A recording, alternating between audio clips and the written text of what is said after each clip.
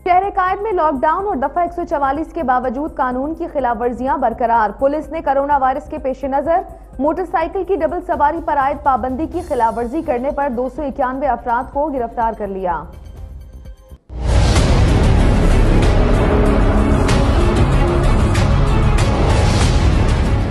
Karachi police के मुताबिक 40 रोज के दौरान सूबे भर में गिरफ़्तार मुलजमान की तादाद दस हज़ार तीन सौ से जायद हो गई है। सूबे में लॉकडाउन की खिलाफ वर्जी पर दर्ज मुकदमात की तादाद तीन हज़ार से जायद है, जबकि पाँच हज़ार सात सौ से जायद अफराद गिरफ़्तार हुए हैं।